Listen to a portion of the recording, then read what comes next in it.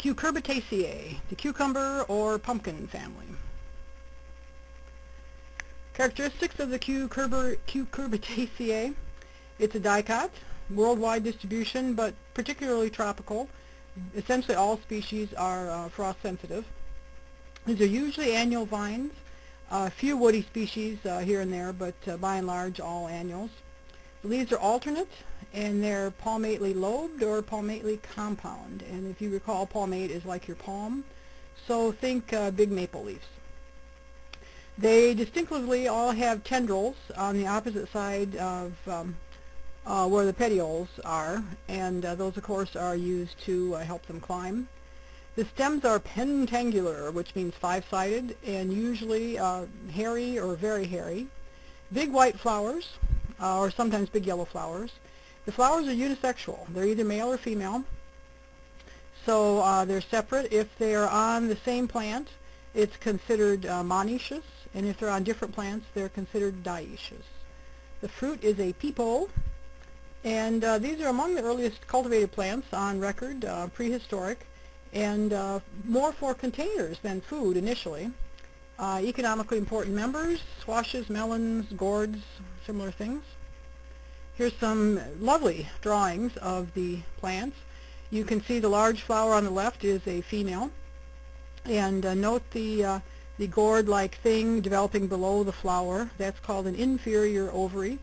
Inferior not being as uh, less good, uh, but below uh, where the flower is. And uh, on the in the middle are is the male flower, stigma, I mean pollen, anther, and filament. On the far right, uh, pretty much the same, except that it does show you the little curly tendrils up at the very top of the picture, which are an important feature of this plant, this uh, family. These uh, Cucurbitaceae are in the order Cucurbitales. There are about 125 genera worldwide with about 900 species. It's a distinct family. There's not a lot of close relatives, so we're not subject to uh, plants being, uh, species being added or subtracted or split up. Uh, within the family, there is, of course, some bickering amongst taxonomists, but uh, at least it's not like the Rosaceae or something where you have uh, enormous um, splits. Here we are on our uh, plant evolutionary tree. We will, uh, one of these days, be seeing things uh, not up in the asterids or rosids, but this is up on the rosid section of the tree. Notable species, the squashes are cucurbita species uh, Hubbard and buttercup squash, uh, buttercup being one of my favorites, uh, is Cucurbita maxima. Butternut squash is Cucurbita moschata. And most pumpkins, acorn, summer squash, zucchinis are Cucurbita pepo. Uh, gourds, used for a lot of reasons. Some of them are Cucurbita, most of them are Lagenaria species. Muskmelons are distinct from the squashes, and that's uh, Cucumis melo and loofah sponges, used for a lot of things uh, besides sponges. And there's uh, three or four genera that uh, are used to make loofah. So here's an edible example of the Cucurbitaceae squash. See some lovely pictures on the um, right-hand side. These are cultivated in Central America over 10,000 years ago. And they're one of what is called the three sisters of plants that were cultivated by Native Americans and that was maize, beans, and squash, being the sisters. Maize, um, another word for corn. And they planted them together, which I thought was an interesting um, uh, efficiency. The corn stalk ended up being a support for the beans and uh, provided shade for the squash. So uh, good combination. Then, of course, the beans also provide nitrogen to the soil. Uh, summer squashes, zucchini, crookneck, patty pan, those up in the upper right I think are called patty pan harvested before maturity, eaten sometimes uh, uh, raw or with just a little cooking, and they don't uh, tend to keep well. And the other type of you know broad category of squash is winter squashes, like acorn, pumpkin, butternut, uh, the things you see more in the lower right photograph. Uh, harvest at maturity, they store well, uh, take considerably longer to eat, and generally you're not going to eat the outside uh, rind. Uh, and sometimes squash seeds are, are used for foods, either eaten directly or as a paste. Uh, occasionally they're uh, pressed for oil. Shoots and leaves and tendrils are occasionally eaten as greens, obviously from younger plants.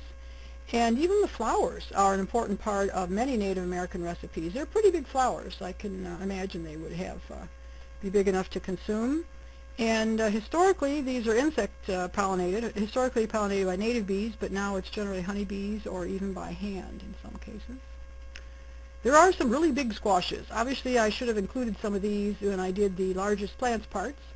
Uh, on the left is a squash that is, um, the guy got a record for the heaviest squash ever produced. I don't know if they were specifically not including pumpkins, but at any rate, um, his weighed about 1,500 pounds, which somebody calculated would be uh, 5,400 servings of squash. It weighed more than a polar bear, and his secret was lots of fertilizer. He said, among other things, he was to get an award for this, uh, for winning this uh, uh competition.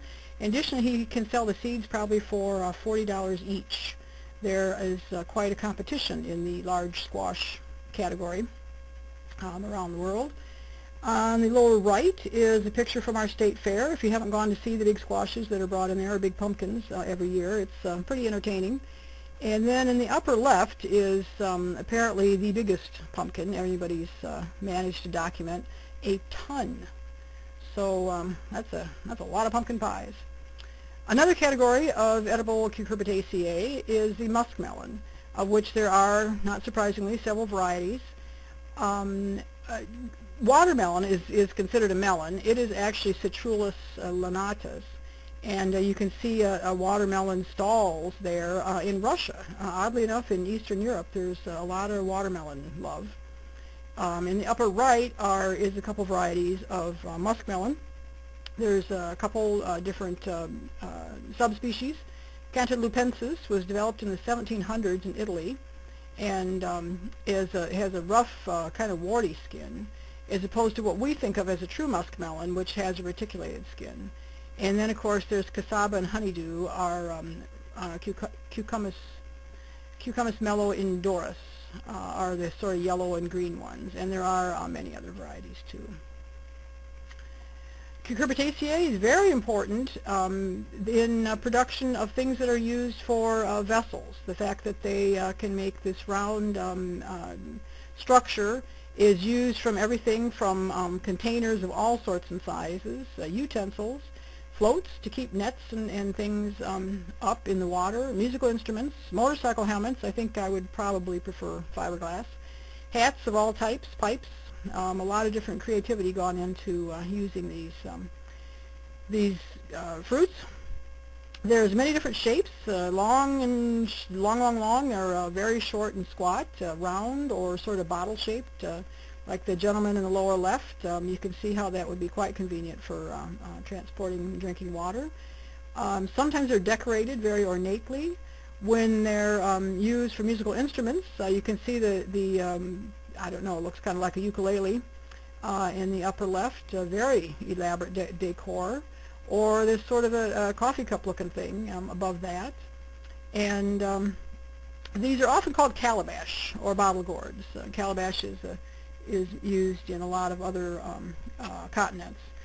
Uh, one of the first cultivated plants in the world for containers, not so much for consumption. So when people were still hunter-gatherers, uh, they needed vessels for a variety of reasons, and uh, the ability of these plants to uh, produce a big round watertight structure was uh, invaluable. Uh, you can see the guy on the right playing uh, some kind of a drum type thing that has been constructed from um, a gourd. On the upper left is a, a, gourd in the process of growing. Um, naturally, um, having that constriction in the middle are useful for a lot of different reasons. These uh, came to the New World, or in the New World, which is uh, North America, South America. Um, although people think they probably originated in Asia and Europe and uh, were brought here um, pre-historic days when uh, the water levels were so low that there was a land bridge from uh, Eastern Asia to um, uh, Alaska. The Aleutian Islands were um, much higher above water and a lot of people crossed over then and it's thought that uh, seeds of this um, uh, these gourds were brought with them.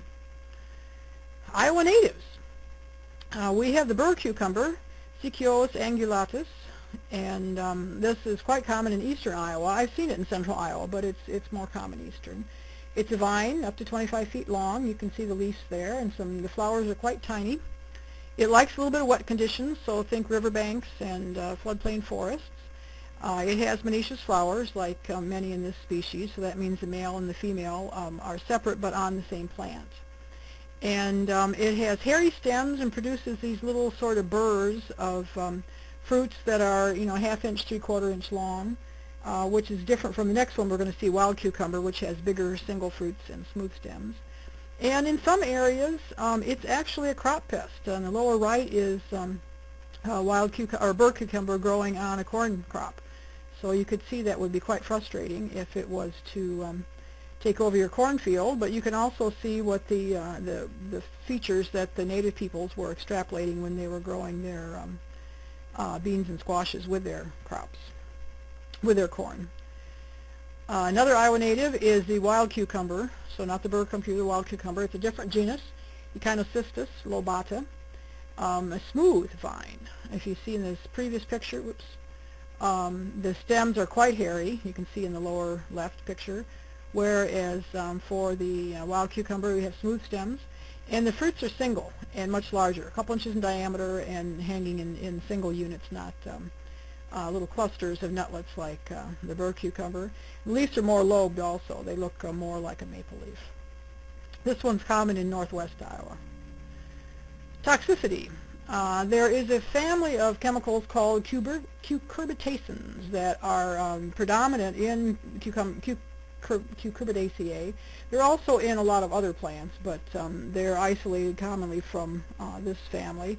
Toxic to many animals, responsible for, for a very bitter taste, and they're among the most bitter uh, compounds that human um, tongues taste as far as um, degree of bitterness per amount of um, compound. They are steroids uh, with um, uh, many, many, many different derivatives. There's one there shown for you. Probably grown, uh, used by the plants, produced by the plants to prevent herb herbivory. The bitterness uh, presumably would uh, deter uh, animals from eating them. There's many, many variants. If you look on the wiki page, they're just lettered A all the way through T, and then there's a variety of other ones.